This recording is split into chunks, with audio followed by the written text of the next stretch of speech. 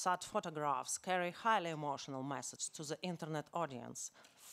Uh, for this situation, it's fascists were coming again, this time with backing from the West, and there could there couldn't be that could be no questions to ask, asked, and no place for skepticism or opposition in this fight to the death.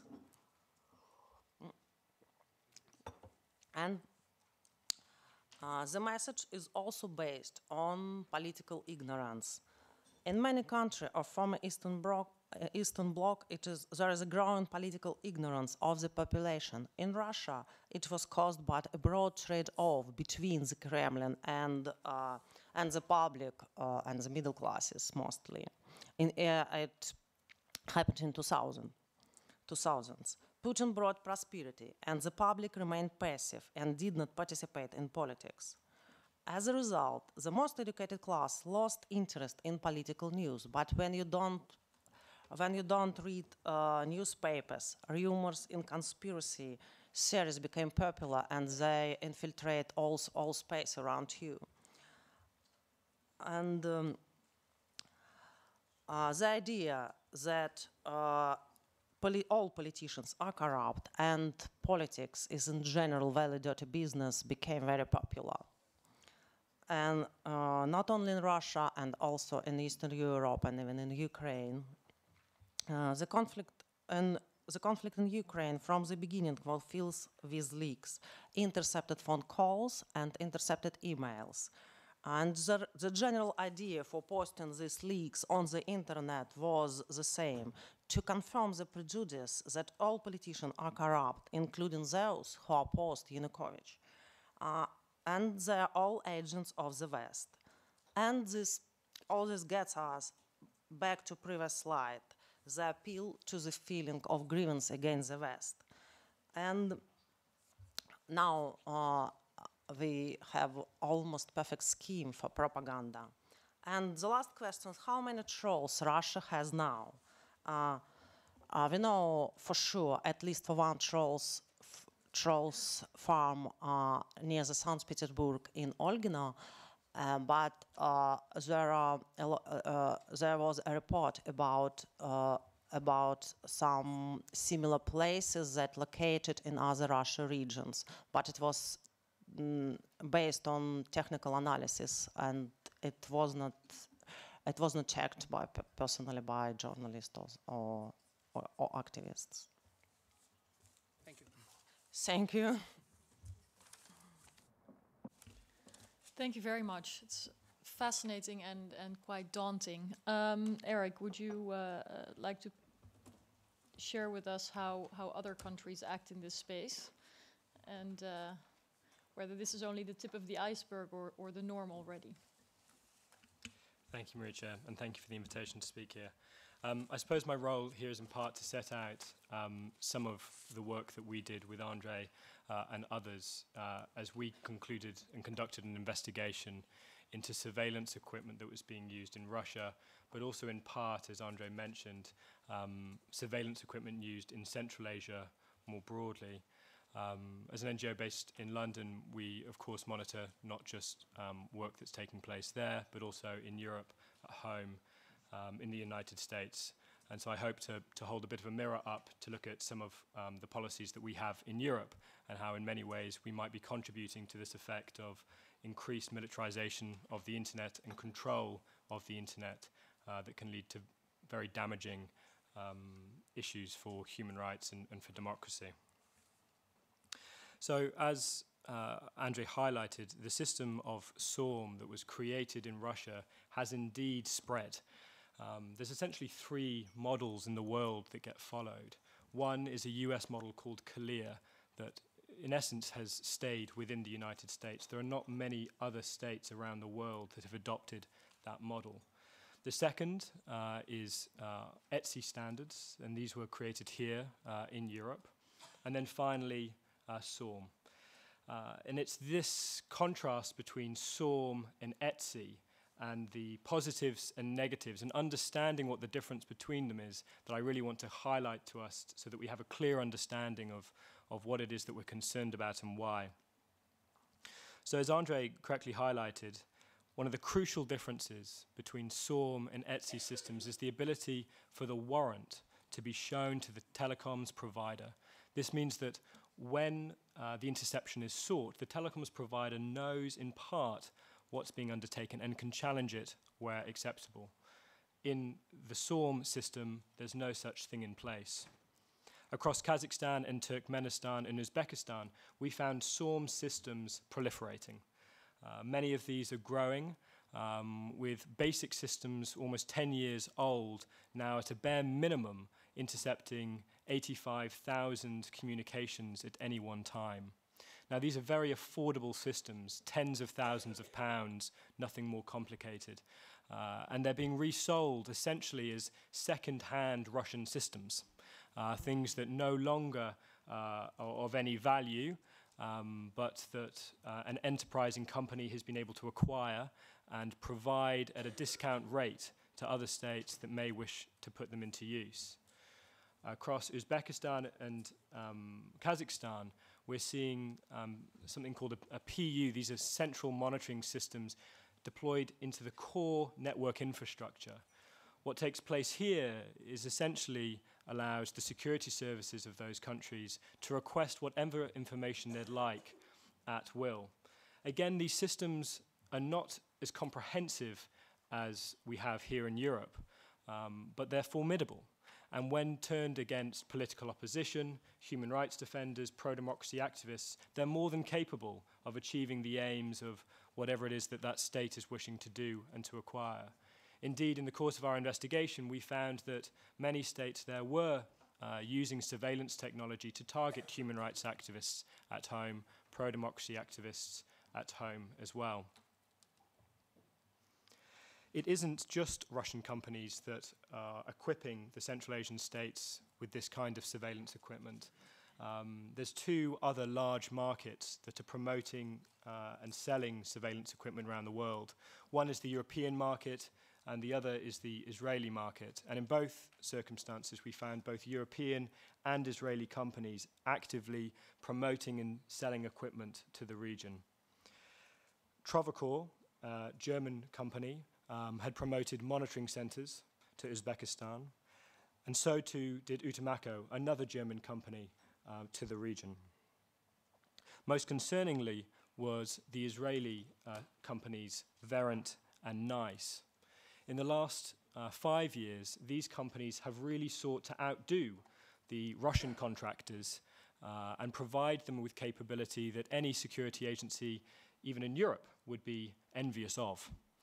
Indeed, the systems that they were offering to sell and indeed did sell, to the best of our knowledge, included mass monitoring systems capable of capturing, selecting, and storing millions of communications in the course of a day. These monitoring centres have been built in key locations, and telecommunications companies in the countries have been forced to provide direct access uh, and single lines to these monitoring centres. At this point, the telecommunications companies are left in a position where either essentially they provide the access that the security services request, cutting them out of the loop of what's subsequently done to their customers' communications, or fight back and I'd imagine uh, withdraw. Uh, many of these telecommunications companies are, of course, based here in Europe. It would seem to me that we could do more here to support them in pushing back against these kinds of policies, which mean that the state has unfettered direct access to the communications of anybody inside those countries. Remarkably, one of the systems that were also uh, offered to be provided included something called SSL interception, or SSL man in the middle. Some people will be familiar that when you go to your banking website or even now your common email providers, there'll be a little green lock in the top left hand corner. This allows you to communicate securely um, with that company and allows and promotes e commerce um, and the privacy of communications right the way through. These systems are now in place by a large number of companies and they're considered best practice um, both to protect the security um, of those individuals, but to prevent other actors, including criminals, from being able to intercept those communications. In this instance, the Israeli company offered to provide an SSL man in the middle solution, creating fake certificates that would allow the state to be able to intercept these supposedly secure communications. We don't know whether such a system was eventually sold, but the offering of it and the fact that that system is exploitable is something that we should all bear in mind. Similar systems being sold on the open market suggest that it's a capability and technique that others are also using in a far more uh, common practice than we might have thought. To highlight the, the difference between SORM and ETSI, if I may, and I apologize because I know that this is complicated and technical. Uh, as Andre correctly highlighted, this big difference is between whether or not essentially the telecommunications company is made aware of the interception that's taking place. Under one model, under the SORM model, they're provided they're expected to provide a room and put the equipment in the network and walk away. And under the ETSI model, there's a little bit more toing and froing. Now this is an important safeguard, although our reports uh, and our investigation into how this is done in practice uh, has left us to be somewhat dismayed. I won't speak for all European countries, but I'll explain the situation as it's ended up in the United Kingdom. Here, the ETSI model continues to be followed. Telecommunications companies are indeed um, asked to provide intercept capability, and they do when they're notified of that requirement. They are, on occasion, provided with the warrants, uh, but it's only for a very limited subset. Of the requests for smaller kinds of communications where warrants are provided to those companies, the system automatically executes them and provides them to the requesting law enforcement or intelligence body. This is because while in principle the, uh, the telecommunications company gets to see the request, they have no opportunity to challenge it. And so while the technical model distinguishes between SORM and ETSI, in practice, many laws end up in a situation where the model is identical, where law enforcement or intelligence and security services request it, and even if there's concern by the part of the telecommunications company. There's no avenue or a model that allows them to um, push back against that. I think this is something that we should give some more thought to to ensure that that important middleman, to ensure that there isn't overreach, main is maintained in the future. Of course, I'd be remiss if I didn't highlight uh, the next stage of what Andre and Irina was talking about, the new frontier for Russia, in this instance, deep packet inspection and the ability of that capability to acquire communications in bulk and for them to be analyzed on the internet. This is something that the security services of both the United States, Britain, other Five Eyes members, which includes uh, Australia, New Zealand, and Canada, have been experimenting with for quite some time. One of the highest profiles examples of this is the British um, program codenamed Tempora. This program taps fiber optic undersea cables. These are the ones that enter a country, uh, connect the world, and carry 95% of our world's communications. Uh, it's here that Tempora works. And they managed to capture in 2009 40 billion pieces of internet data in one day. 40 billion. It's at this point that I must admit my maths begins to uh, fail me as I struggle to calculate and understand and quantify just how large that, uh, that information is and just how intrusive it is. Uh, with those 40 billion pieces of information that are captured, um, metadata, this is the communications about the commu this is the information about the communication, the fact I sent a communication, to whom, where they were, for how long that communication took part. That is stored uniformly for 30 days the content of all of those messages is not discarded, but it costs more money to store.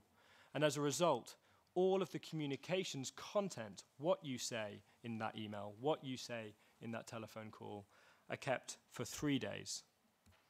The main limitation on this capability at the moment is not law, is not policy, but it's how much money the security agencies of the United Kingdom have. It's these policies that are being replicated right the way around the world.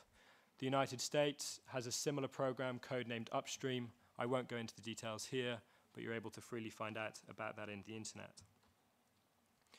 It's essential at this point to talk about what it is that we can do here in Europe to look at these issues and to improve the situation.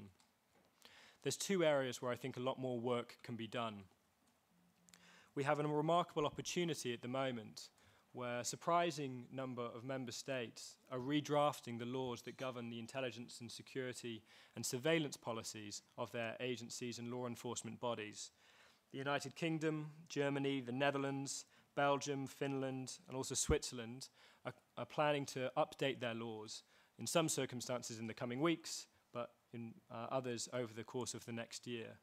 There's a real opportunity here to put in place very strong protections very strong standards, set out clearly what we think is acceptable, because these are the policies that one way or the other do get copied and exported right the way around the world.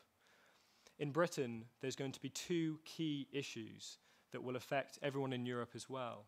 One is the proportionality of bulk collection, of mass surveillance. Is it right that states can intercept, retain, and store 40 billion pieces of information every day? Is that necessary? Is that proportionate? You might imagine from coming from an NGO, Privacy International, you can guess where I come down on that. Uh, but it's essential that we have that debate. There are a number of court cases going up to the European Court of Human Rights that will be looking to challenge that issue, and I hope that some of their guidance will allow people to set in place clear policy.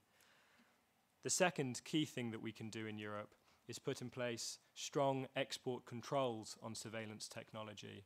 Much has been done on this, and the work by Marietje Schaake, among others, to be able to promote better controls, not just to ensure that companies who are wishing to profit from surveillance uh, around the world are restricted in doing so, but also looking at other policy solutions that we can use that aren't just around export controls. Uh, I think these are two clear issues that many of us in this room can look at and with that, I'll stop.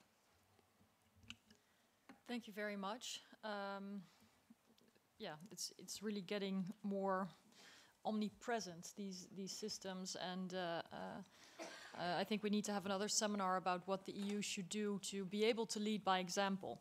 Um, in terms of both uh, the technical aspects and the political aspects, but um, to zoom in a little bit on uh, European programs and, and thinking that's evolving around how to deal with mostly the information wars or the messages. I would now like to turn to uh, Mr. Pomianowski to explain what his findings are at the European Endowment for Democracy and what advice he might have to us here in the Parliament and the various people in the room.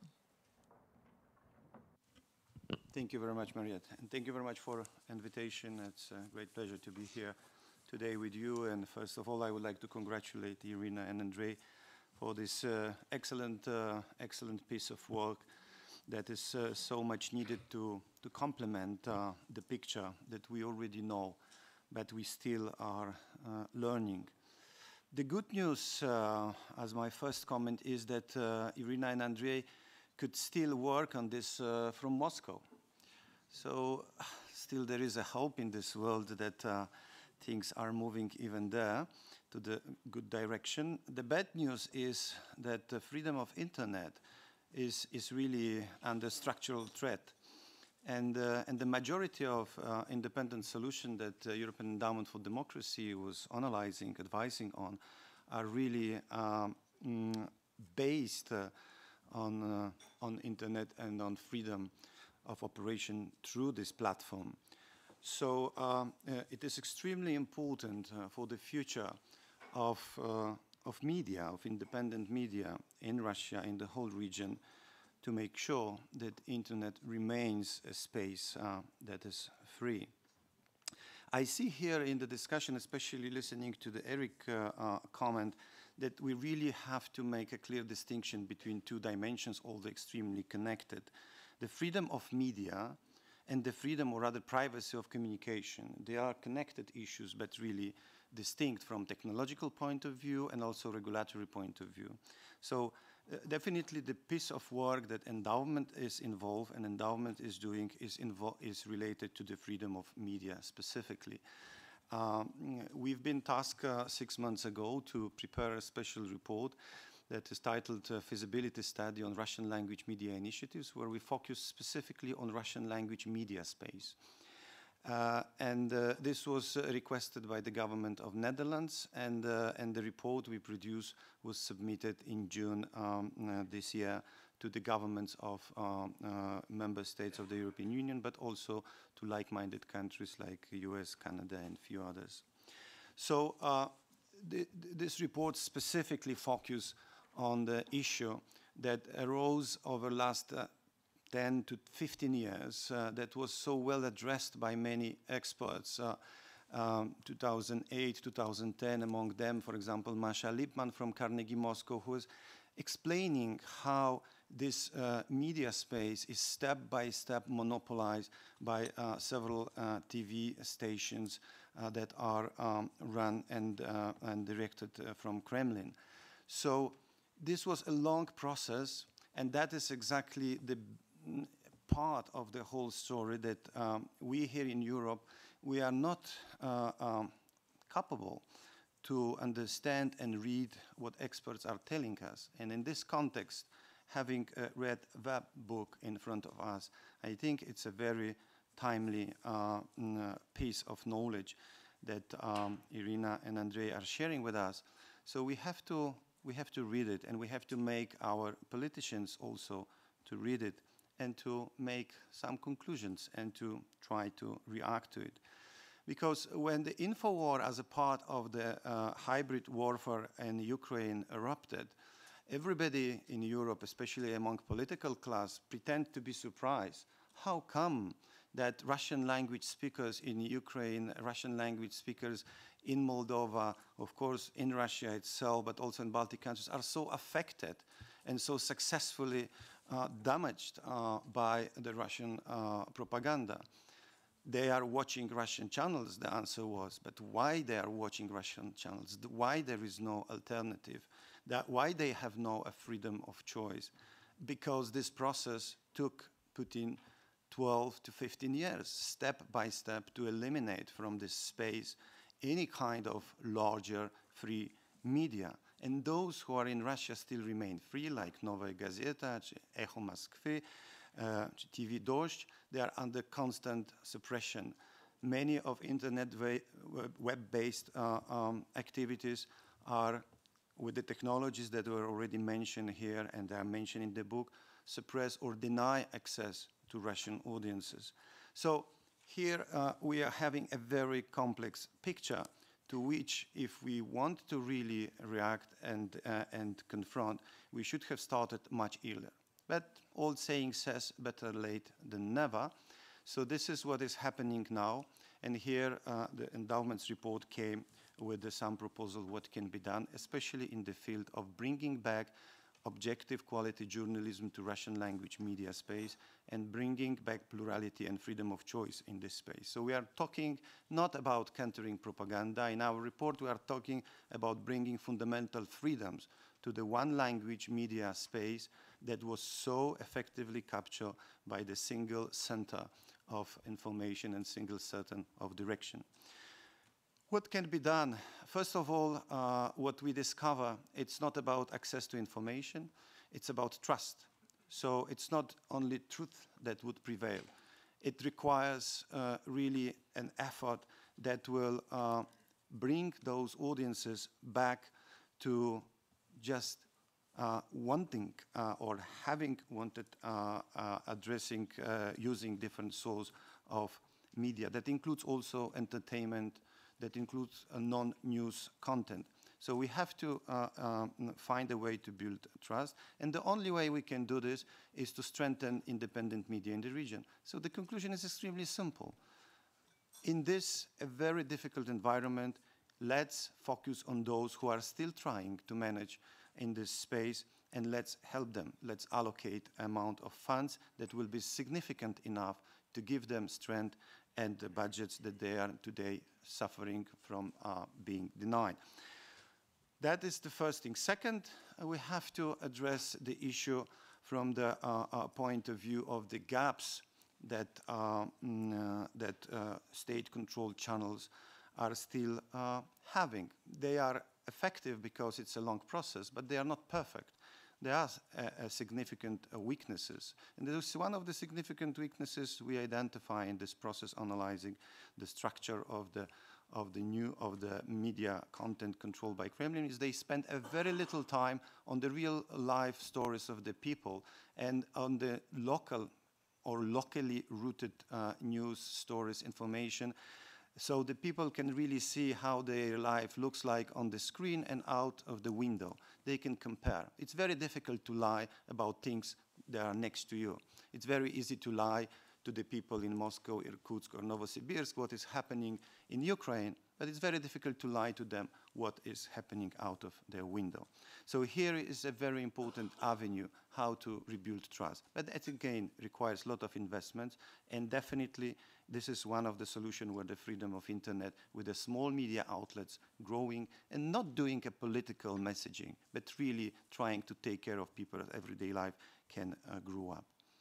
So uh, for me, the key point uh, uh, I'm taking from the Red the Web book is that we are watching the certain process. The use of internet to uh, pursue also propaganda goals of the Kremlin-controlled uh, mm, agenda, but at the same time, uh, enormously uh, um, growing technical and technological apparatus to uh, suppress any other form of presence. And this is definitely a very, a very mm, dramatic trend where we have to find a way um, to fight, to find and fight, find a way and to find it back in order to really guarantee the freedom of uh, of uh, mm, uh, media and apparently also a communication. Uh, if I have any complaint about the book, uh, is that uh, this is not yet and uh, not in a foreseeable future to be published in Russian. Because I believe that the Russian audiences uh, deserve to read this book uh, in Russian.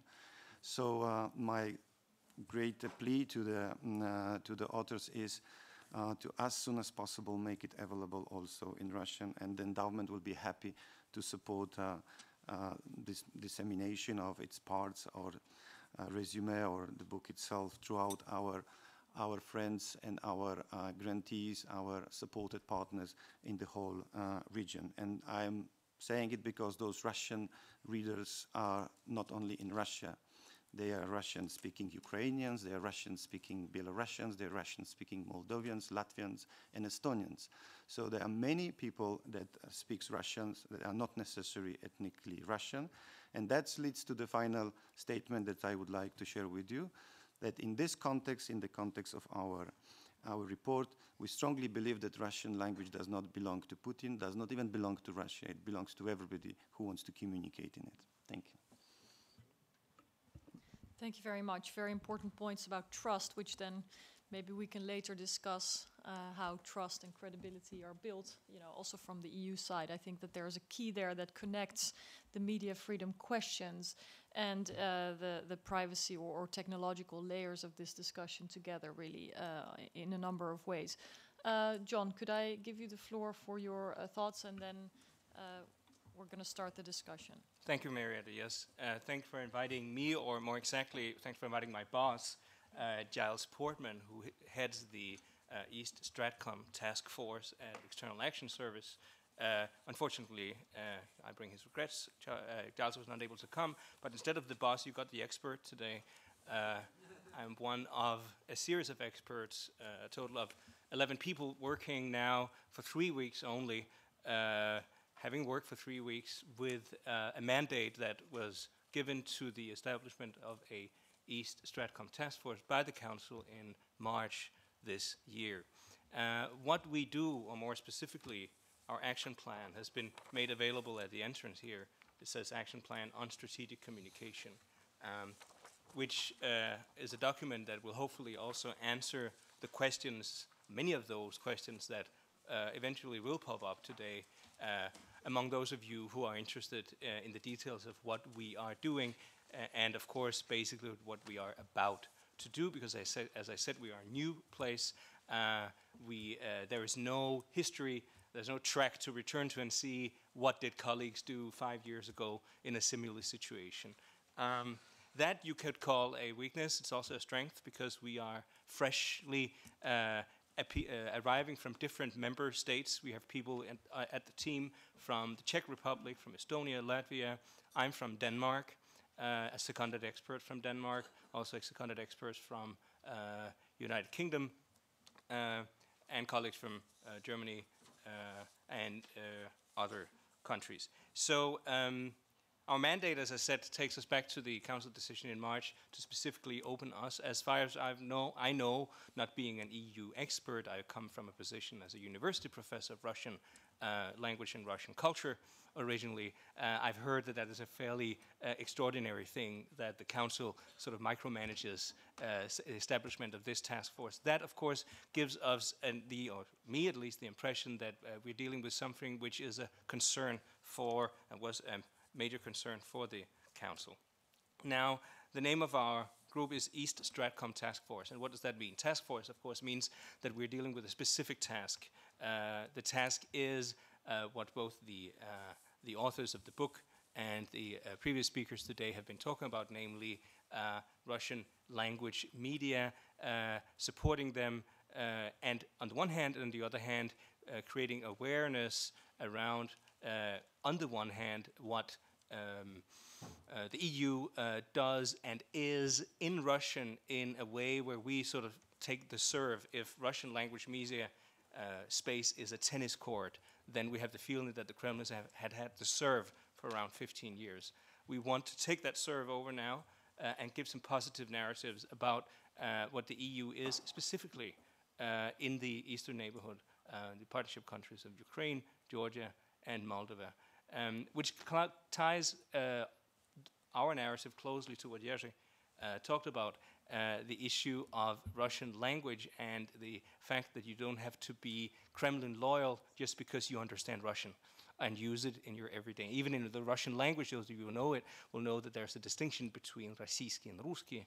Rossiyski, the adjective uh, denoting that, so it has to do with Russia, the country, the state, and Ruski, uh, meaning simply your knowledge of the language and the culture and the traditions, etc. I am a Danish uh, national, uh, but I'm an avid user and have been almost my whole life of Russian media. I speak fluent Russian. Uh, it means I'm a part of it too, although I'm not uh, a Russian citizen. We also said that our task force is perhaps the only uh, working place in the EU system, at least here in Brussels, where Russian is one of the, uh, one of the working languages uh, a very pleasant thing for many of us. Let's go down to Ukraine and remember what happened uh, in uh, uh an important uh, aspect of what happened in Ukraine was, of course, the narrative that if you uh, the if Ukraine joins the association agreement with the EU, then people will lose the right to speak Russian, and they will lose the right, so to speak, to be practitioners of Russian culture. That was a very strong narrative down in Ukraine. Part of what we are doing by letting the EU speak Russian, part of it uh, is to give, so to speak, the EU a Russian voice, uh, adding to the voices already available in our delegations in, in Kiev and in, in, in Moscow and Chisinau and elsewhere where uh, we are represented. Um, our big, uh, we, as I said, we're a new place. We work for three weeks. Uh, our big uh, event is here on Thursday where we present our action plan or the business plan, the more focused part uh, to the member states at a meeting here in Brussels. Our main three objectives are described in the uh, action plan, uh, and, and, and, and I just want to uh, mention them again in order for you to be clear of what we're doing and what we're not doing. Uh, one objective we have is, and I quote, to ensure effective communication and promotion of EU policies towards the Eastern neighborhood. Now, the uh, key word here is the Eastern neighborhood why Russia, as a country, the Russian Federation, is a, a, place of our interest, our primary interest at the end of the day, is the, uh, the, uh, the Eastern neighborhood, uh, which happens to be uh, using Russian every day. Uh, so in other words, when I come to my job in the morning uh, and have to decide if I'm reporting on, as I do every day, on debates in Russian media and social media, if there's a debate I think is uh, that has to do with Ukraine, that is relevant uh, to my hierarchy, then I choose that over the Russian uh, thing. That being said, of course, acknowledging, as Jerzy and others have been underlining, that uh, the Kremlin-controlled media uh, define much of the agenda of what uh, happens in Russian language media, even in uh, Ukraine and Moldova, then of course I also pay a lot of attention to that. So uh, we promote and communicate policies. Basically, we try to create a positive narrative in Russian, make it available to delegations and to our stakeholders, member states, uh, and uh, our networks uh, of uh, journalists, media professionals, opinion shapers in the broadest possible sense uh, who use Russian in their everyday life and work life. We also, and I quote, uh, improve EU capacity to forecast, address, and respond to disinformation activities by external actors. So it's the first, the positive narrative was kind of a strategic aim. We have a more tactical aim in forecasting and addressing and responding to disinformation activities by external actors. Um, forecast is, of course, the crystal ball dream that everyone has, that there's someone there who can look into the future. Uh, no one can look into the future, but what we can do is that we can see trends, we can see discussions in an early stage, uh, and then uh, inform our hierarchy about it so that they can be prepared to respond. We are not a spokesperson's office, we work with them closely, but it also means that we are in strategic communication, not in tactical communication. So we are primarily looking out for the strategic uh, promotion of a narrative, and to a lesser degree, but also looking at uh, propaganda. Of course, we analyze propaganda. I'm in the part, I personally work in the part of the uh, task force that works directly with propaganda, with trolls. I hope I'll have time to return to the troll issue in a minute or two. Um, but uh, the third point, which is a point I know is of major concern to many um, uh, of our stakeholders, the member states, uh, primarily is the strengthening, I quote, of the overall media environment in the Eastern neighborhood and in EU member states. Um, this is where uh, the European Endowment for Democracy also comes into the picture as an important partner for us. Uh, we don't, we are not a donor. Uh, we don't have uh, an amount of money that we can hand out to people we think are the right people. What we can do is that we can coordinate uh, the, uh, the, the work that is done in the eastern neighborhood in order to avoid overlap, uh, in order to avoid a situation where uh, people attend, media professionals attend the same course in, say, critical coverage of government work uh, five times during the same year just because five different member states got the same great idea. Uh, so we try to coordinate, uh, which means that we both gather information and uh, proliferate information about that to a network of NGOs, uh, individuals and stakeholders who are interested in that. Um, now, let's look at the time. Five more minutes, yeah? Okay. Um, so as I said, we have, we work in the, uh, in our uh, East Stratcom task force with a number of uh, networks uh, some of them, uh, of the people in the networks, are people who are media professionals themselves, both in member states and in the eastern neighborhood, who are interested in um, what uh, was talked about earlier today in propaganda. We call it the myth busting uh, part of our work. Uh, the Russian agenda, uh, the Kremlin agenda, has certain myths it relies on. Uh, some of them were already mentioned uh, today by Irina, and we try to describe them to our stakeholders, but also uh, to people who could, um, in media, be amplifiers of our message, which is, of course, that these myths could and should be challenged. Now, finally, on trolls, a couple of words. I happen to uh, be, have been asked to give a presentation on Thursday on trolls to the member states uh, and uh, to our stakeholders. Uh, so a couple of just my thoughts after your interesting um, talk about that Irina. Um, now, if I say a troll, of course, what is a troll? We use it as a metaphor for these people who um, damage the internet uh, debates. But I think we all know that a troll is, of course, something completely different. It's something we were afraid of when we were little children, and something our parents told us not to be afraid of. And I always return to that uh, sort of the origin of the metaphor when I advise uh, my hierarchy uh, and others in uh, the fear of trolling that we often uh, meet among them. Uh, imagine that you are, say, an ambassador or spokesperson in a environment which is not exactly friendly. Uh, uh, you wake up every day with the concern that you write or say something that's going to be used against you by the trolls. So the first thing I always tell them as the counselor in trolling is uh, don't forget that it is a troll. and a troll means that you are afraid, you should not be afraid, and they are not there. Uh, and if you keep in mind those three things, uh, they, you can move on and be a little bit more uh, a little bit less afraid and probably more constructive in your work with them. Trolls are also enemies of enlightenment, I used to say. Now, historically, trolls, of course, take us back to the time when Europe was moving into enlightenment. The trolls and the witches and all these figures sort of uh, were part of a, a, sort of a medieval past. Um, when I look at trolls, and I do that every day, I have the feeling that if I were to define their agenda, it is to discredit debate as such. And that's where many of, many of, of in my hierarchy, uh, I think, misunderstand trolls. They think of the trolls as opponents in a debate. They're not. They're actually not opponents. When you've met a real troll, you will remember your opponents positively because they at least respected, if not even you, then the whole situation that you were in. And if you don't respect the situation, then you discredit the debate and you make people say what people in my hierarchy say to me, namely, I don't want a Twitter profile because oh, it's such a dirty place full of all these trolls and, and it looks terrible. And I say to them, no. First, you have to disbelieve them.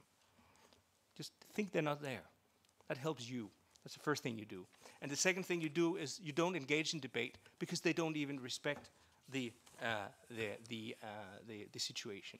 Now, as I said, um, as you also pointed out, Irina, uh, there has been some investigation into trolls the factory, as it was called, out in Olgino, out of St. Petersburg, was uh, pointed at uh, by investigative journalists. And many people in the West, that was my impression, said, Whew, thanks God, finally. It turned out they found the source, it has been discovered, nothing more to worry about. Well, I said, yeah, of course, A, I knew, everyone knew, and B, that doesn't take away the problem. Because the problem of trolling takes us into a general problem in Russian political culture, which is also what you addressed in your intervention Irina, namely the lack of credit in debates and in politics and politicians as well. I would go as far as to say that in Russian media we see trolling happening not just in debate forums, but in government media, in newspapers, on TV every day. Examples. Last week we saw two cases of uh, trolling I want to remind you of. One was when uh, a high-ranking Russian, very high-ranking Russian um, decision maker said in an interview that uh, Yatsenyuk, who's the prime minister of Ukraine, was actually a Chechen rebel who had fought with the Chechens against uh, uh, the Russian federal forces in the first Chechen war between 1994 and 1996. Now, uh, this uh, was said from such a level that you have what you in propaganda call the red herring, uh, the smell, that even if you don't believe that Mr. Yatsenyuk uh, used to be a Chechen rebel, the smell stays with him for a while, and he becomes a persona non grata in any debate in Russia for some while. Later on, the same week, we saw Russian national TV airing last Saturday uh, an entertainment program, I would call it, where Georgia's former president, Mr. Saakashvili, now uh, uh, uh, the governor of the Odessa Oblast in the southwest of, of Ukraine. Uh, it was, they had found a um, transvestite prostitute who confessed to having been in a relationship with Mr. Saakashvili. Uh, of course, these uh, two cases are what we in propaganda theory call big lies. They are uh, simply too crazy. But what they do is that they do exactly what trolls do. They discredit not just the individuals we talk about, but the whole debate. As you pointed out, Irina, they create this feeling that politics and politicians such a dirty and place that you don't even want to involve yourself. The result of it is that you keep uh, civil society passive um, and you avoid debates.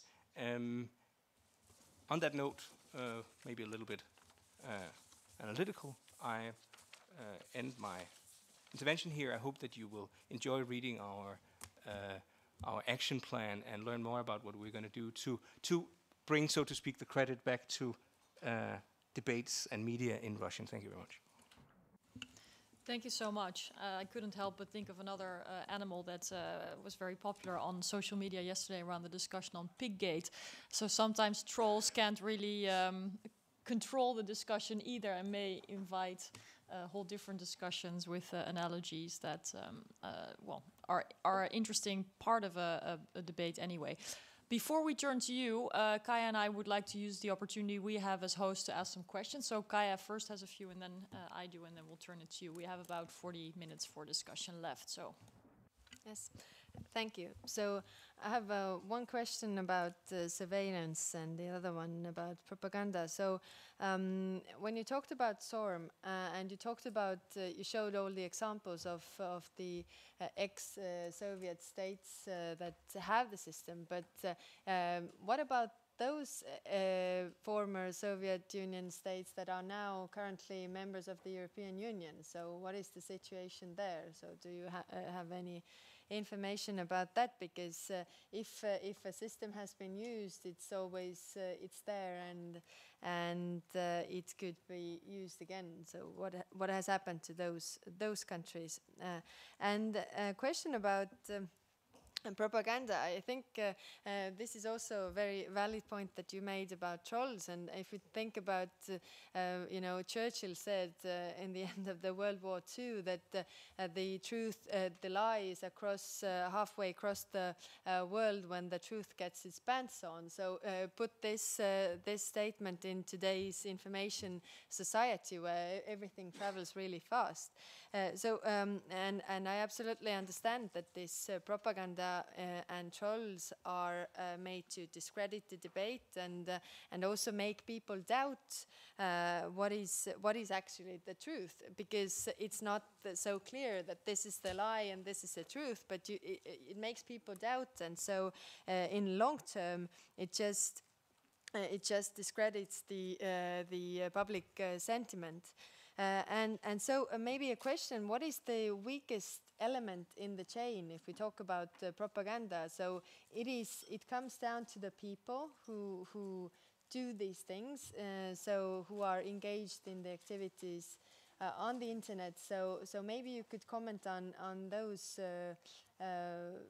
people who do it as well as you have also information how, how that works. Thank you.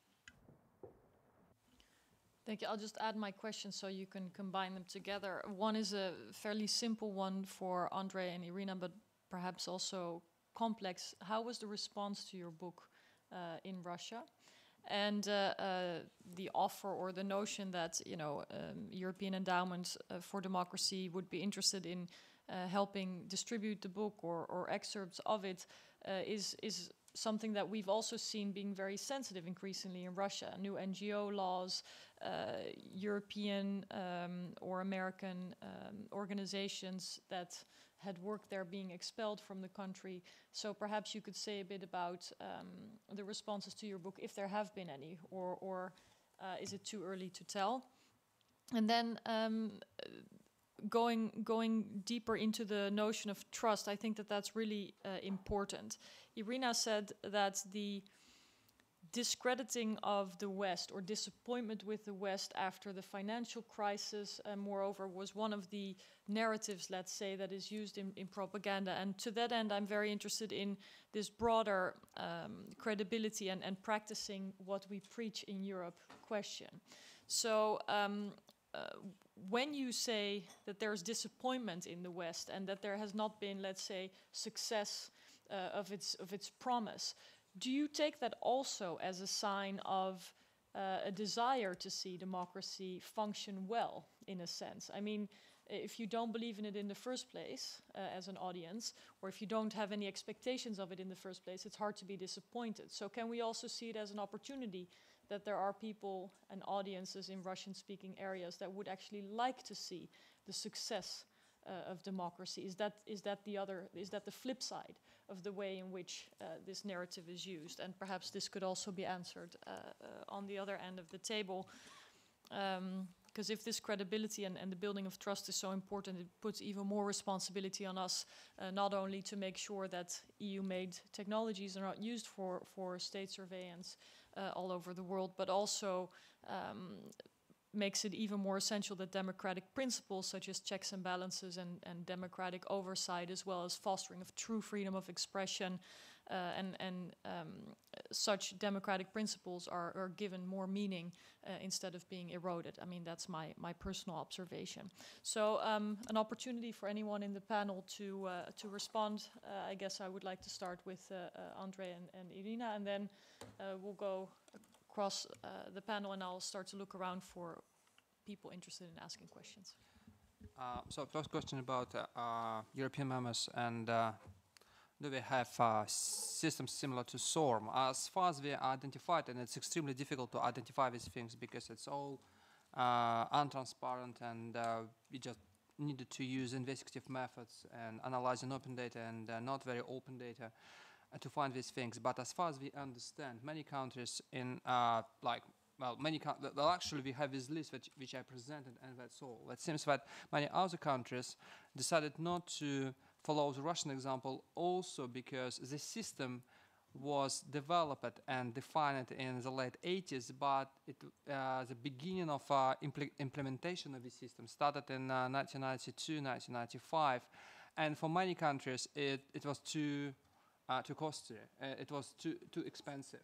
Uh, for example, even in Ukraine, yes, we got some some SORM systems on the alliance, but only now. And the, the, the very recent example happened only yesterday uh, which is a funny thing that uh, the Crimean operation, uh, operator uh, cannot actually function because Russian authorities asked them to, to, to, to buy more equipment for SORM, but because uh, the basic telecommunications uh, equipment was provided by Ericsson, Ericsson refused to supply this, this equipment, and actually this Crimean operator is uh, can, cannot, function. So for many countries, we were very, uh, relatively late in this game. Belarus decided to have a system of SORM only in 2010.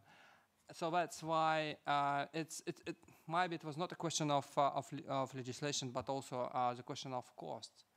So that's why we have uh, this list. And as far as I understand, I think maybe, maybe Eric might comment on that, but I think this list is, is all that we have. If I'll just comment on that one piece, as I think that's the, the only area I'll be able to contribute, is that some countries have ended up with systems where they run both ETSI systems, European systems, and SORM systems as well, depending on which part of the network. And so for newer mobile telephony, uh, it's common in most European countries for them to be employing ETSI systems as they've been recently purchased and thus with ETSI systems built in by default.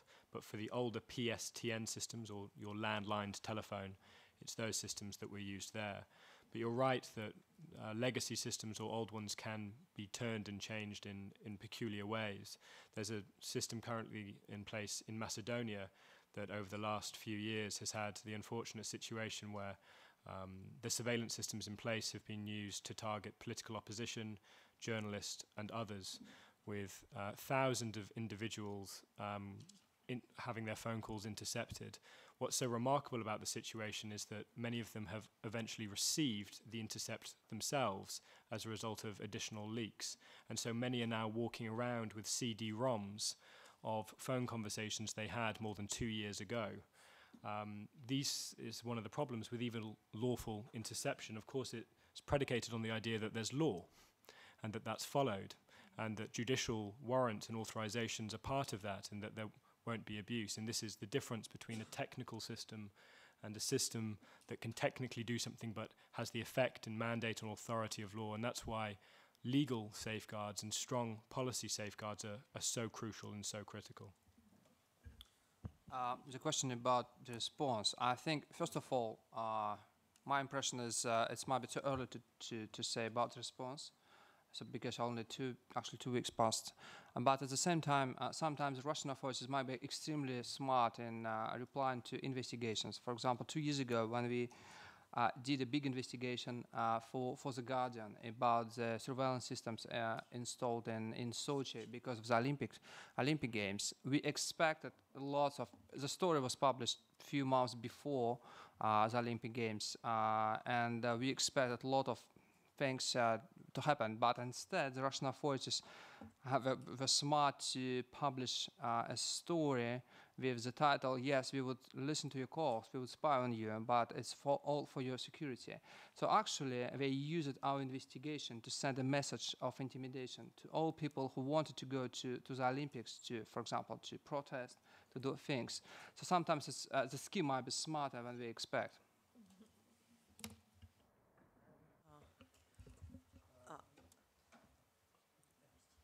Few on propaganda and trolls. Uh, you asked me what is the weakest element of propaganda. Uh, we know strong, strong elements are it's people expectations and emotional messages and uh, Putin's media that is all uh, all all that is all is propaganda uh, propaga- pro- is propaganda but uh, there is uh, the weakest element of Putin's propaganda on the internet. Uh, this is uh, web itself because uh, the web is decentralized by design and uh, in the uh, uh, in in time of stability you can spread disinformation through the network very well and it wouldn't be a lot of pushback from the from the users. But in the time in, in the times of crisis when people are I, I don't know in in in, uh, in times of economical crisis or political crisis or I don't know uh, when it may be some big natural disaster could happen or techno te- or another disaster you uh, the authorities could not uh, could not uh, oppose the dissemination of truth uh, through the net because even Putin's uh, belief that the internet uh, ruled by somebody from the CIA in the United States. That's not true. We all know. We, we, all know that web is. Uh, uh, is a net uh, uh, where everybody could participate and everybody could create websites. Everybody could post its uh, post his or her information on the social networks. That's the weakest uh, link in Putin's propaganda. And maybe if I uh, just one example, which I think is um, is really is a very good example of this fella, is uh, the crisis in Ukraine, because uh, of course the Russian authorities were well aware that social networks might pose some problems before the crisis, and Vkontakte, the biggest, largest uh, Russian-speaking uh, social network, was put under control by very harsh methods, and the leadership was replaced. So now we have a situation where the Russian state television is run by uh, by Dobrodeev, and Vkontakte is run by his son. So you have this hierarchy. But at the same time, when we got Ukraine and when we got soldiers sent to Ukraine, these soldiers started to post messages identifying themselves in Ukraine. And in this case, the content was generated not by employees of, of, of as a company and not under control of this company, but by users. And uh, what you have uh, in charge of Kontakte has nothing to do with his message because uh, he is he's not in, in, in no position to control these things. And I think this fella uh, started in, in the early 2000s when Vladimir Putin actually developed his approach to traditional media. So he thinks, he still thinks, and his people think that they can use the same approach they used against traditional media, specifically TV, now against uh, against social networks and uh, and the internet, which is uh, which have this uh, fundamental failure uh, that content in uh, in media generated by employees of- of this uh, media, but in, on the internet, content is generated by users. Uh, I will just address very shortly, as I would like to hear as much as possible Irina and Andrey, but just uh, the, the comment on disappointment with the West and disappointment with democracy, as European Endowment for Democracy carry this word with this, its own name. So let me let me answer this uh, in a way that uh, that uh, my Russian friends uh, and people in the region love to deal with any problem, basically making joke out of it. So the joke about this uh, quite already known and old, is very simple. That when the war narrative has reached its peak uh, by Putin, and it was looked like he's going to push tomorrow the red button, the uh, upper middle class in Moscow sent a petition to give him at least one day to take back uh, his kids from their kids from the boarding schools in London, their wives from vacation in Italy and French Riviera, and their mistresses from shopping in Paris. So this is the disappointment about the democracy in the West. So in a sense, we have to basically open space for normal debate. That that is exactly where the biggest danger for the propaganda remains, and what uh, Ion was addressing, that trolls are trying to eliminate debate. If we really start to discuss what is our crisis, what is your crisis, then we can come on very good terms together and be friends again. Well, maybe my only comment is that um, we had this problem since, uh, well, well, I started working as journalist in 1996, and I well remember that then the debate about European values and about democracy was framed by the idea of uh, inevitable economic prosperity. And I think it was very unfortunate and very stupid because actually authoritarian states also might be very prosperous and profitable. People might live very luxurious lives. Uh, and uh, uh, for example, we got, and I think it's a, it, it was a very interesting example when uh, during the Moscow protest in 2011, two people said the same thing about Singapore. They said they are fascinated by Singapore. And the first one was Dmitry Medvedev, the Russian president then, and the second one was Alexei Navalny, who said that he's fascinated by Singaporean experience in fighting corruption. So you see that the, the fundamental problem that European uh, values are mostly understood in Russia as a way to prosperity. And if Putin might give us prosperity, so why to care about European values? So maybe we can we can talk about now about democracy and not about prosperity. These things might be interconnected, but not necessarily. And I think European values are itself are something wrong, uh, uh, worth uh, uh, pursuing. Yeah. Oh, go ahead. Yeah. Okay, Marietje, you brought up the issue of, of uh, Russian laws discrediting Russian legal entities who receive uh, support from abroad. The, many of you will have heard about the Foreign Agents Law.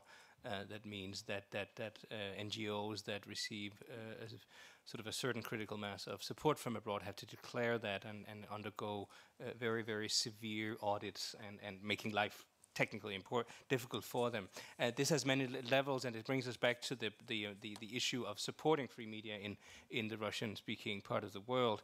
Um, if you, if people uh, uh subscribe to the uh, fundamental idea that Irina mentioned, namely that the whole world is corrupt and people who are against Putin are just Western agents.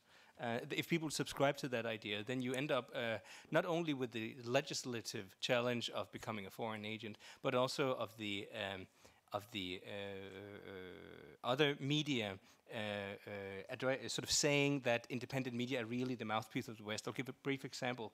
Last or two weeks ago, I think it was, Izvestia ran a piece which said, and now hold on, and I'm also mentioning this example because of your Dutch background, uh, said that uh, Novaya Gazeta, which has been mentioned a couple of times already, which is a government critical independent newspaper, that it had received a substantial Dutch grant, and that was the reason why they had been over reporting on the MH17 catastrophe in eastern uh, Ukraine last year when uh, this uh, airplane was shut down. So basically, the narrative was that no, uh, in critical media are not critical because they are critical, you know, for any other reason, but because they're paid by the West to be critical. Of course, that leaves us in a difficult situation because do we want to hand out money to people if they're discredited by our money? No. Uh, but it also, uh, and here my job as, as advisor, um, returning to a point I often bring up with my advisees, namely that uh, we should remember that we in the West have this reputation, which was also mentioned, of being the people who think they can just buy themselves out of any problem.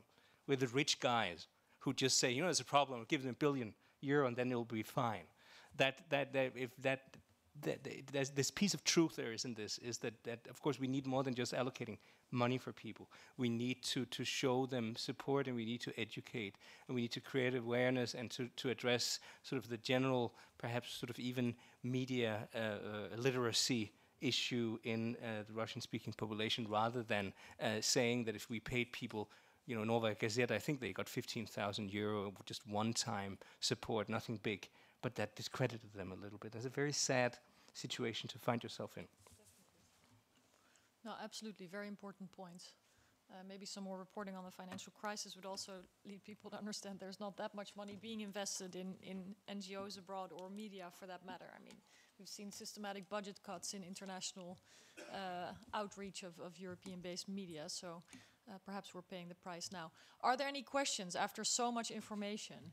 Oh, many. Great. Okay, I'm going to assemble a few. I'm going to start with these three here and then just go across the room. So one, two, three. You first. You, yeah, with the white shirt. Hello, I'm Eric Dell. I'm from the European Commission. Um, you say that we don't want to engage in debate with the trolls because uh, they don't have the purpose of having a debate. They want to just discredit the debate themselves. However, their ideas may not be confined to the trolls themselves. They easily spread and are relayed. Um, so how then do you deal with the debate with the people who have co-opted the ideas and are still there spreading the ideas, so to speak, as trolls, but no longer, uh, now as a private person carrying his own opinion. Yes, my name is Pierre-Emmanuel Thomann, and I do research in geopolitics in University Paris 8 French Institute of Geopolitics, and I founded the Eurocontinent internet site. My question about, uh, is about uh, uh, analysis of threats. I think it's a good initiative that at least European Union start to think as a power and to, to build a, a unit which, if, which thinks in propaganda terms. But from the beginning, to succeed, we should have a right analysis of the threats to Europe. And I'm afraid you missed the targets. The real threats to Europe, this is the Islamic propaganda, Islamization.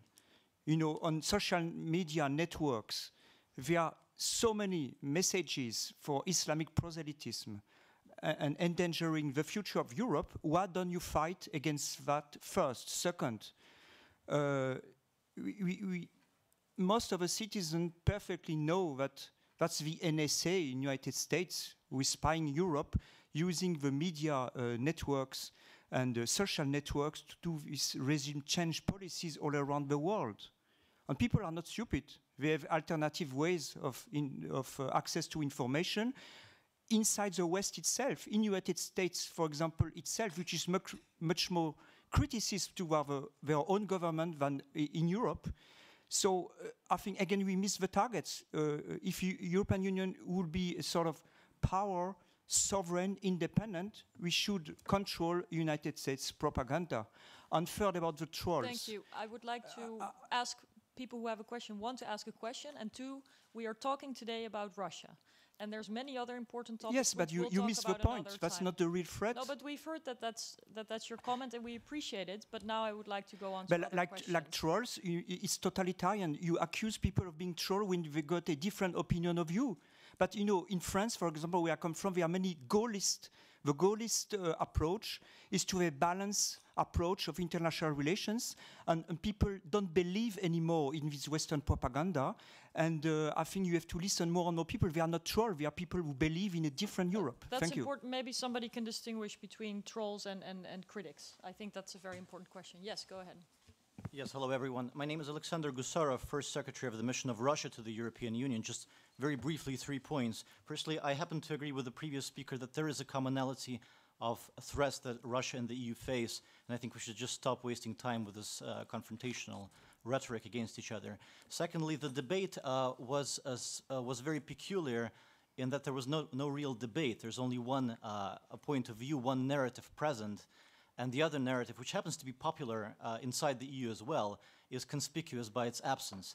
And third point, um, what uh, concerns Russia and actually other members of the international community most of all, is that this uh, trumped up specter of Russian propaganda is being uh, utilized by some members of the EU and some forces within the EU to renege on the commitments of the EU individually and collectively in the area of, of freedom of the press, plurality of, of the media, and free flow of communication.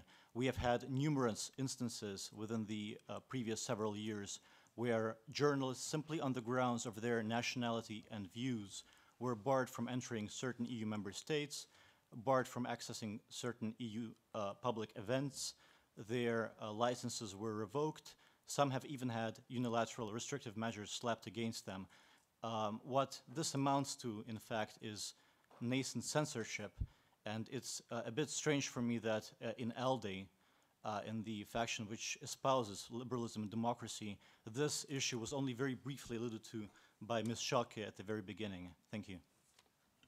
A very important point. Uh, none of us, uh, I'm pretty sure, but I can't speak for the others, have have uh, suggested that banning journalists is a good answer to, uh, you know, to others who may do similar things. So certainly the ALDE group believes in freedom of expression, access to information, multiple voices, uh, multiple media outlets, whether it's online or offline. Uh, and I think that uh, that's the best way for people to make up their own minds, which uh, I hope um, uh, is a, shared objective among most of us. Uh, because some of these were statements, I'm going to collect a few more questions because I saw a lot of hands and not that much more time. So we have more to discuss than we can do today. It is not intended to censor any of you. It's just that we have uh, busy agendas. The gentleman in the back, and please be brief. You, yes, with your blue sweater. Yeah. Hello, my name is Evgeny. I'm a PhD student in engineering here. So I have a bit more technical question. So is this DPI is obligatory for all the like Russian operators, telecommunication operators? Uh, a question to Irina: Is this troll factories mm, like Russian invention, or is uh, somehow popular across the world, and you can identify different places with this? Thank you. Uh, and one more question, just again uh, technical. So you, Eric, told about three days of stored data. Is it actually happening or it's potential of the system? Because I used to work for a telecommunication operator in Russia and I saw the traffic going to SORM and it's definitely not enough to store any information apart from metadata. So not really uh, phone calls or web pages or images you actually seen. Thank you. The lady in the blue jacket. Uh, hi, I'm Kelsey Bjornsgård. I studied uh, strategic communication, and I was wondering on the propaganda front, in addition to strengthening local media, has anything been done to strengthen grassroots uh, communication movements sort of within Russia? Um, there's been a lot of success in other sort of propaganda for um, countering other forms of propaganda to strengthen grassroots counter narratives to really have um, a voice coming from within the society, especially with the prominence of social media and capitalizing on things like that. Thank you. One more question in this round. Yes? Anyone? Jeppe? Jens Jeppesen with the Center for Democracy and Technology. We're a public interest group that focuses on surveillance and free expression on the internet. Like Eric and his colleagues, we uh, try to uh, convince governments that they should roll back surveillance programs and so on and so forth we mostly work here in the Europe and the US. Is there something that groups like ours in the West can do that will help the situation in Russia as you perceive it? That's my question. Thank you. I'm going to go to the left of the table first. Jerzy, can I start with you? Questions uh, trolls versus critics. Are we making the right threat analysis? How to preserve freedom of expression? Eric can do the DPI uh, question uh, and uh, uh, the data retention, and then maybe you two can also talk about grassroots development yeah. and, and okay. you know what helps. So if I may start with the grassroots because it will be simple, and then maybe Jon can move to the trolls. He is the best on it. Thank you. Uh, just about strengthening uh, grassroots uh, media, and that's also my my comment to to colleague um, actually I was I am a former diplomat, so to my colleague from the Russian embassy, is that um, first of all, um, if we talk about equal treatment, uh, we would welcome very much uh, from Russia equal access to your uh, commercial market of media. Try for Western uh, media outlet to get into cable. No way. There are administrative measures. They will be not allowed. Dozhd was eliminated from uh, cable, access to cable. So Yes, and they are only based now on the subscription to internet. So in a sense, um, let's be serious when we really open debate between uh, Europe and Russia to talk about equal treatment. We are not equally treated. And you are implementing so many regulations and law that prevents actually plurality of media on your market. And you're complaining that you do not have enough plurality on the Western market with your presence of Sputnik and Russia today. So uh, this is uh, uh, exactly about uh, the limitation of strengthening local uh, and grassroots media. If we try to really do this and work between different NGOs and establishing different contexts across the borders in Europe, then of course we are facing those dramatic uh, legal limitations. No one, even a local media that has nothing to do with politics in Russia, doesn't want to be called foreign agent Иностранный агент никому не хочется стать. So this is something that limits those cooperations and it limits this uh, natural uh, uh, trend between like-minded people to just work together for the better world. Yes, thank you also, I'm not a former diplomat, I am a diplomat, so I will allow myself to, to also address uh, uh, as the first thing my colleagues' uh, intervention. I think it's very highly relevant what you said about uh, sort of the specters that are being uh, created. And I think that we as diplomats and as advisors have a, a share and obligation to sort of inform our hierarchy. Uh, for example, I, I, as I also hinted at in my intervention, spent every day in my uh, uh, line of work, uh, trying to, to make it clear to my hierarchy that, that the um, sort of the, the, the, opinion that is critical towards the West Western Russia is not a result of a Russian conspiracy uh, paid for by the Russian government, and sort of the Olgino should explain everything. Is sometimes I hope I can feel in Western opinion uh, that as if we have discovered that these people were just paid to be skeptical towards the West policies in Ukraine and elsewhere, then then, then that explains everything. No, of course, there is, uh, as we have been talking about also, uh, a skepticism towards the West that is historically founded in Russia uh, and which, which is a premise Uh, uh, in, in which we are working and, and in which our hierarchy should know about. I, I certain, certainly uh, also hope that similarly my, my Russian colleagues will, will keep their uh, in hierarchy informed about sort of uh, the limitations of the conspiracy in the West against Russia, uh, specifically the, the, sort of the American-controlled uh, uh, conspiracy against Russia. That there are friends of Russia and Russian culture and Russian language, even as deep into the EU as in the European External Action Service. Thank you.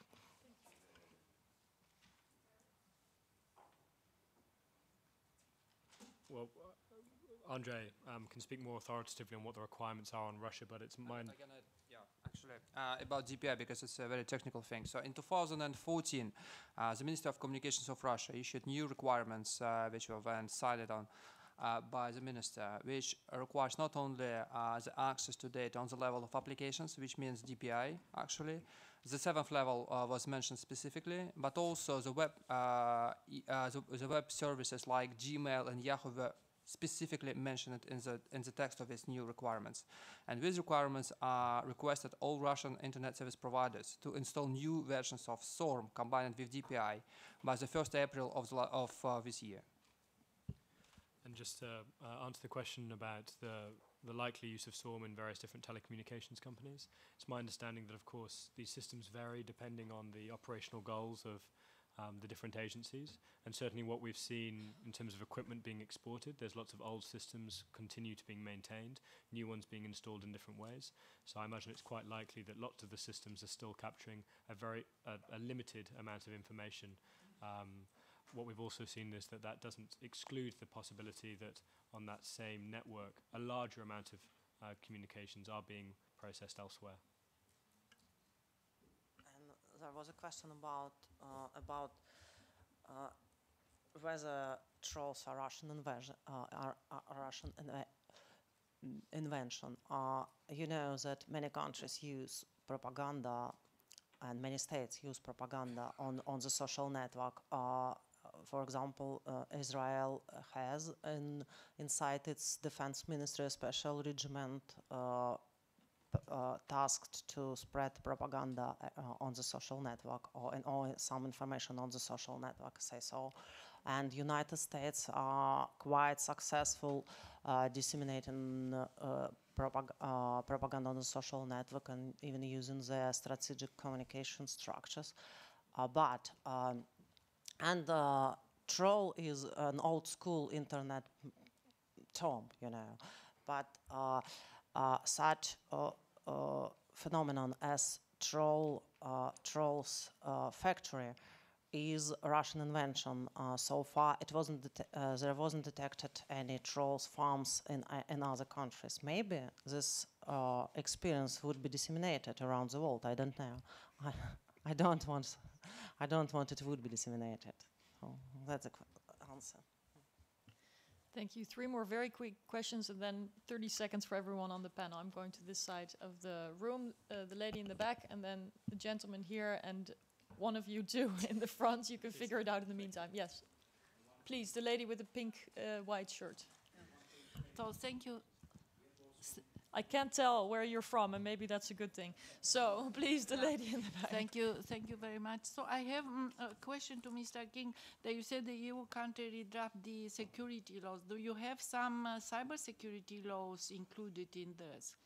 Uh, second, se- uh, uh, second question is very interesting. Here is n- nobody speak about this. It's a very strong Russia propaganda in the uh, Russian minority in EU countries. Um, I mean, Estonia, Lithuania, Moldova is not the EU country, but is near EU. Um, so, what? Uh, uh, why do you? Uh, what other countries are doing against this? Uh, um, the special countries, and uh, why the EU institution is- does nothing against this? Uh, I mean, you can have a, a data exchange, for example, in this situation.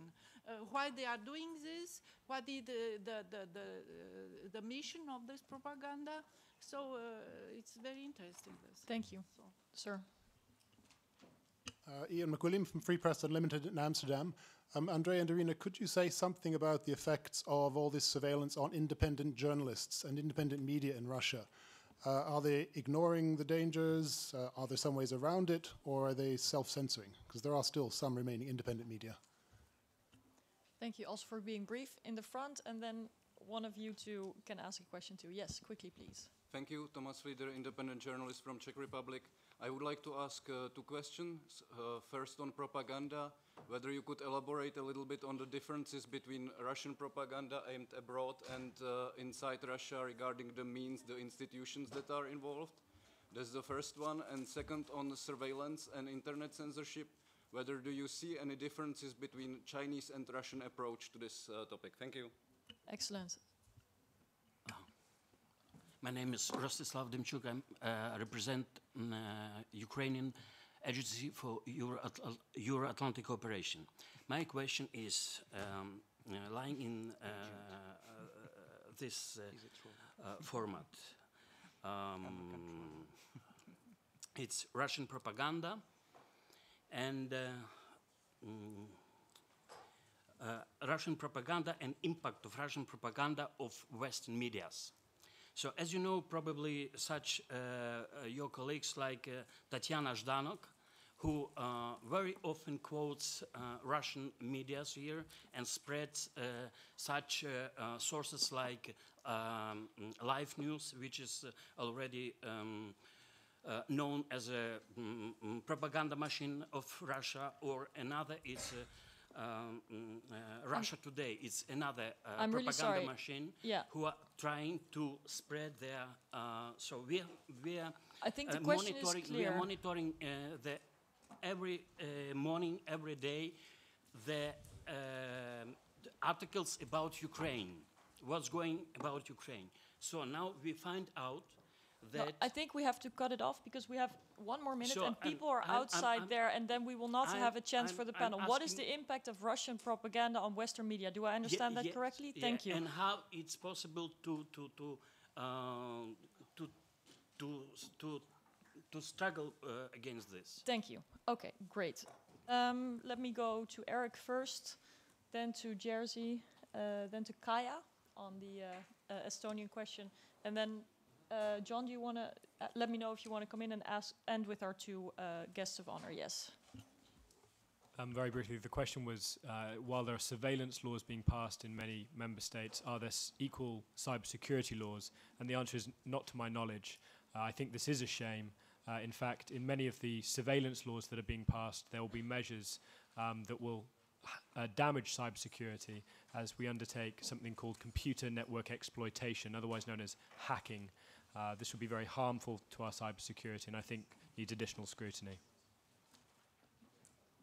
Uh, my 30 seconds just to make a clear distinction between two very important issues that often in such debates are mixed. Uh, first, uh, Russian language media space, and it is not a propaganda really that goes through this, it's a, it's a engineering, social engineering, and the Russian propaganda that is through uh, the languages of the nations that are either free or not free, but outside of Russian language media space. So um, I think especially in the West, uh, in, the, in, in our world, we can easily manage to, to, to have an open debate with any kind of uh, um, steered from, from Moscow media that are in our languages because our media space is free and here we have enough tools to really address this. So the struggle is there, but we can do it.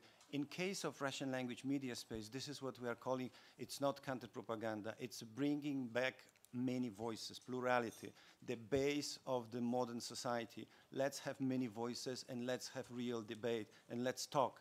So this is what really needs to be brought back, plurality, balance, and quality journalism to Russian language media space, not counter-propaganda. Very briefly, because I don't have time to go into details, but uh, uh, I think uh, different EU states are, are at uh, doing differently, but uh, but this is what we have done is uh, we have opened this Russian TV channel. But the problem is the uptake by the by the consumers or, or the citizens, because if they don't, just don't watch it, then you, you can't really really give the information. And and of course the Russian channels have so many you know stars for the Russian people and and all the uh, means to do uh, proper programs, what we don't have. Uh, very shortly about one uh, very interesting question about China and Russia. Uh, these systems are completely different. Uh, in China, it's a more technological approach. That's why thousands of people are involved in this work, and it's technologically it's very advanced. In Russia, the system is based on intimidation, of sending a message. So that's why in Roskomnadzor, Russian body, which is in charge of uh, censoring the internet, there are actually about 10 people involved in in deciding what should be censored. So it's uh, it's, it's, the idea is to intimidate people, not to post something on the internet, not to actually to identify everybody who tried to do something. It's about sending a message. Just for that, uh, and to, to oppose any kind of propaganda, you need to have a very, a very professional and independent media, and you need to develop uh, quality journalism. That is not a question of the moment. That is a question of democracy and prosperity for the society. Thank you. That's a very good point to end on, although there's lots more to discuss, but independent media and uh, uh, freedom of expression is probably the best remedy against any myths, confusions, or propaganda. Thank you for your time and uh, hope to see you again soon.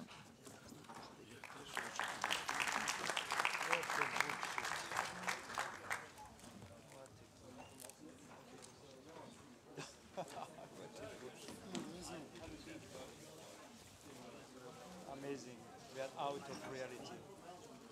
It's not going to even work, the units, because member states don't agree at all with the goal of these stupid units.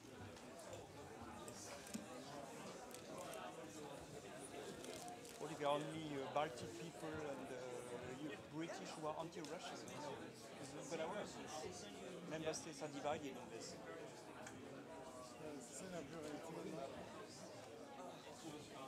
Stupid.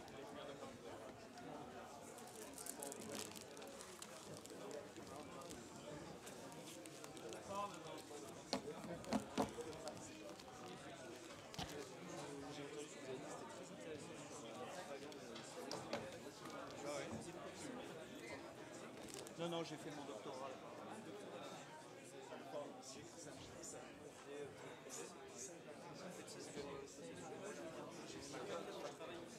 Ah oui Ou au Parlement Ah, ils, ils, veulent, veulent, pas parler de...